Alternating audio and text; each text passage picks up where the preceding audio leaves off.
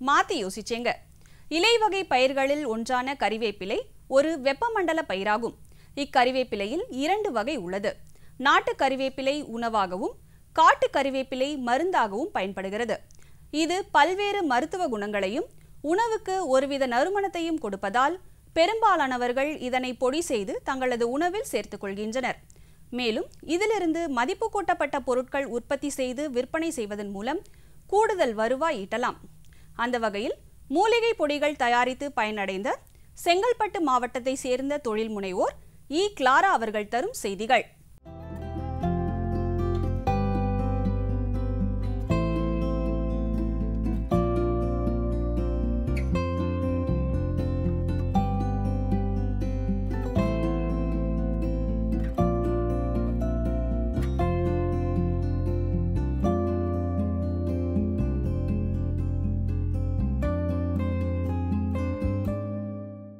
நான் வந்து மகளிர் குழுவில் இருக்கிறேன்.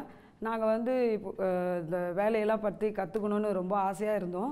அப்போ எங்களுக்கு ஒரு ஒருத்தர் மூலியமாக இங்கே கேவிக்கையில் வந்து கற்றுத்தராங்க பயிற்சி எடுத்து தராங்க எல்லாருக்கும் நல்லா சொல்லி தராங்க அப்படின்னு சொன்னாங்க. நாங்கள் அதே போல் நாங்கள் எல்லாம் வந்தோம். நிறைய மூலிகை ஊறுகாய் இதெல்லாம் பத்து நாளில் எல்லாமே நல்லா கற்றுக் கொடுத்தாங்க. நாங்கள் என்ன பண்ணோம்? அதெல்லாம் கற்றுக்கிட்டு வீட்டுக்கு போய் வீட்டில் என்ன பண்ணோம்? சின்ன சின்னதாக வீட்டில் இருக்கிற பொருள் இந்த கருவேப்பிலை இதெல்லாம் இருக்கும். அதெல்லாம் வச்சு செய்து அதுக்கப்புறம் என் பிள்ளைங்க எங்கள் பையன் அடிக்கடிக்கு சளி பிடிக்கும் அவனுக்கு. அப்போ இந்த வெத்தலை எல்லாம் போட்டு ஒரு பொடியை சொல்லி தந்தாங்க. அதை கற்றுக்கிட்டு அதுக்கப்புறம் அவங்ககிட்ட அவனுக்கு கொடுத்து ஒரு ரெண்டே நாளில் அவனுக்கு சளியெல்லாம் நின் நின்றுடுச்சு நின்ன உடனே அப்புறம் நான் போய் குழுவில் போய் எல்லாருக்கிட்டேயும் சொன்னேன். இந்த மாதிரிலாம் நல்லா நம்ம ப- இது கற்றுக் கொடுத்தது. நம்ம வந்து அது வீணாக்கக்கூடாது ஃபர்ஸ்ட் ஆஃப் ஆல் நாங்கள் ஹவுஸ் ஒய்ஃப் வர எங்களுக்கு இதை பற்றியெல்லாம் தெரியாத இருந்தது. அதுக்கப்புறம் நாங்கள் குழுவாக சொல்லி பேசி நாங்கள் எல்லாம் செய்து அதுக்கப்புறம் எங்கள் நாங்கள் வார வாரம் சர்ச்சுக்கு போவோம். அங்கே போய் அங்கே எல்லாருக்கும் விற் விற்பனை பண்ணி அதுக்கப்புறம் எங்களுக்கு கொஞ்சம் லாபம்லாம் வந்தது. ஒரு ஆறாயிரம் கிட்ட அப்படி வந்தது. வந்த உடனே நாங்கள் என்ன பண்ணோம்? சரி அதை நம்ம வந்து இப்போ வந்து போயிட்டு நம்ம அதுக்கு தாழ்ந்த சக்தி அது சர்டிஃபிகேட் வாங்கணும். அதை வாங்கிட்டு அதுக்கப்புறம் நம்ம இன்னும் நல்லா பெருசாக பண்ணணும்னு சொல்லிட்டு நாங்கள்லாம் ஒரு குழுவாக பேசி அதுக்கப்புறம் முடிவு எடுத்திருக்கோம்.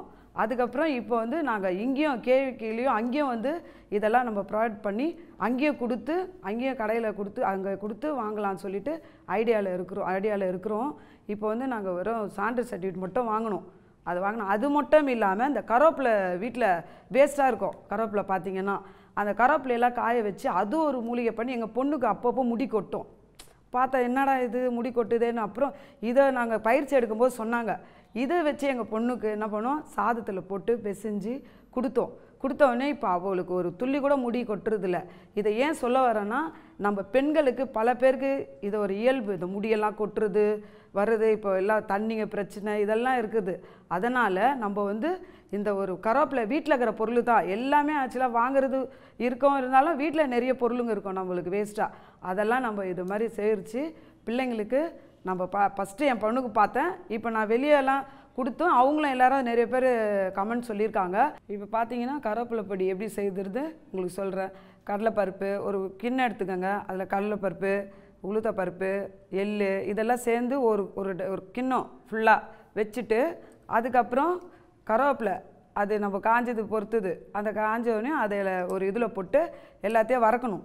வறுத்துட்டிங்கன்னா ஒரு உங்களுக்கு பிடிச்ச மாதிரி தனித்தனியாகவும் வறுக்கலாம் வறுக்கலாம். இல்லை சேர்த்து வறுத்தாலும் வறுத்துட்டு அதை என்ன பண்ணும்? வறுத்தவனும் காய வச்சுட்டு அதுக்கப்புறம் அதை மிக்சியில் போட்டு கொ- கொஞ்சம் நல்லா மழையாக குறை குறம் இல்லாமல் அதை வறுத்துட்டு அறுத்தீங்கன்னா நல்லாயிருக்கும் அதை வந்து நீங்கள் சாப்பாட்டில் உங்களுக்கு தேவையான சாப்பாட்டை எடுத்துகிட்டு அதில் ஒரு ஸ்பூனோ இல்லை ரெண்டு ஸ்பூனோ போட்டு பிசைஞ்சு கொஞ்சம் நெய் விட்டு சாப்பிட்டு சா அதை போட்டு பிசைஞ்சிங்கன்னா நல்லாயிருக்கும்.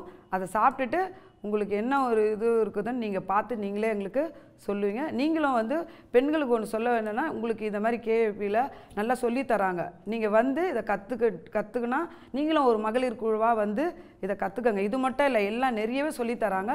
நீங்கள் வந்து கற்றுக்கங்க அதுக்காக சரி தேங்க்ஸ் மேலும் விவரங்கள் பெற தொழில் முனைவோர் இ. கிளாரா அவர்களை பூஜ்ஜியம் ஒன்பது நான்கு நான்கு ஐந்து இரண்டு நான்கு நான்கு பூஜ்ஜியம் நான்கு ஆறு என்ற கைபேசி எண்ணில் தொடர்பு கொள்ளலாம்.